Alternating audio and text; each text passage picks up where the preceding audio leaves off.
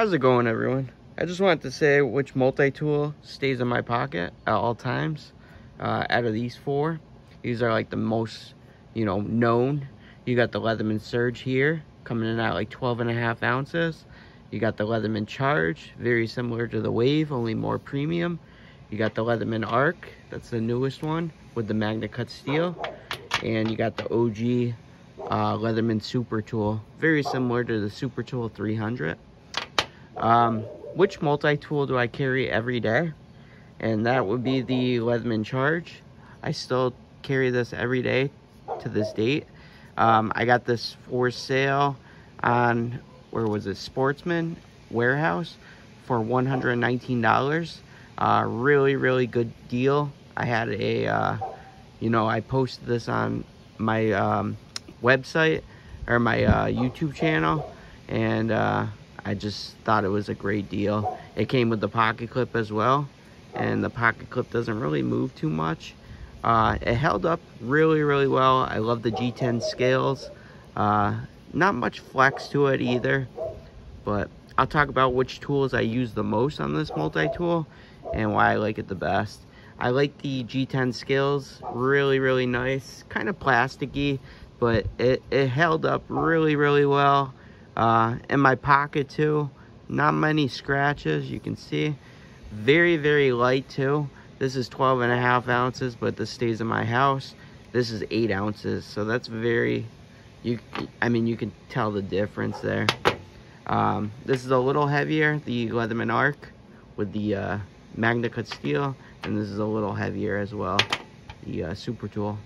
All you know all multi-tools are um, great that I have here, but this is my favorite. And the most tool I use is probably this one, the uh, serrated blade. You got this V shank, I love that. Uh, use I use this a lot, uh, especially with zip ties. You can just cut zip ties very, very easily, and I use zip ties a lot. Um, very cheap to use, and you know it's great to have the zip ties. But I love this, the serrated blade. You can use this to cut rope as well. And it's a secondary blade. Um, this is really nice as well, the S30V blade. Um, I use that a lot as well. I don't know what that gunk is. Uh, but it held an edge really, really well. Not as nice as the, you know, Magna Cut steel, but it still works just fine. Yeah, I think that's just goo, kind of. But yeah, that works just fine. Um, the saw I don't really use and the file I don't really use that much to be honest.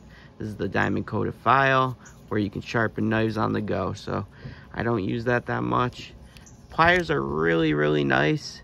Uh, a little smaller than the Surge's pliers, just the, you know, lengthwise of it.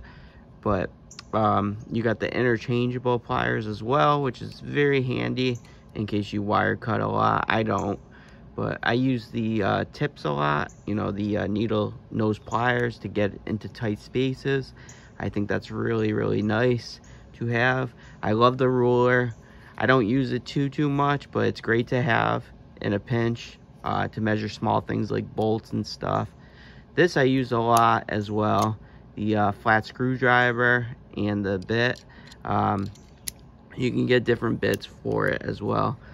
And uh, I think it's great. This I use a lot too, the uh, can opener, bottle opener combo. Uh, works really, really well. I think it's better than the Arc's can opener. Um, and you can wire strip, which is really, really nice. I like that. Uh, scissors are okay. Mediocre at best. They're pretty small, to be honest, but they work in a pinch for like wrapping presents or, you know, cutting um, wrapping paper, whatnot. This I really like. Um, this locks too, but all these tools lock, which is nice. Um, this is the micro bit driver. You can use this on uh, like batteries to interchange batteries on calculators. Um, I mean, use it on calculators to, you know, remove batteries and whatnot, or small tool tools, uh, toys like uh, for your kids that have like small micro bit driver uh, inserts. This will work great. Uh, sunglasses as well, I used it on. pry bar, perfect. This works great. Um, prying cans, small things. So that's great. So I use pretty much probably 90% of this tool, which is great.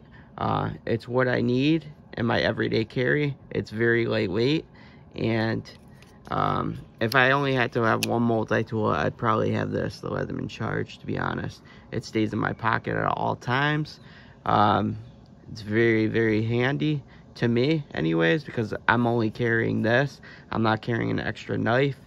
And uh, it's got every tool I need. So it, it's all personal preference, uh, what you need. And this is what I need pretty much, uh, the Leatherman Charge. The wave is fine too. It just doesn't have, you know, the V-shank hook, uh, which I like to have, like I was talking about before with the gut hook. But yeah, so this is the tool I carry in my pocket every day. Um, it never goes without with without me basically. And uh, yeah, so let me know in the comments below which tool do you carry every day uh, which which multi-tool goes with you. It could be a knife, it could be, you know, even Knipex pliers, uh, whatever you prefer. But for me, it's the Leatherman Charge G10. I love that multi-tool, and it's still my favorite, my number one multi-tool. Uh, even the depth is perfect, I think. It's just, I, I would, you know, rate it as a 9.5 out of 10. Just a solid, solid multi-tool, especially when it was clearance at 119 $119 you can't beat. All right, thanks guys for watching. Hope you enjoyed this video. Um, thumbs up, it's much appreciative, and have a good weekend. Take care.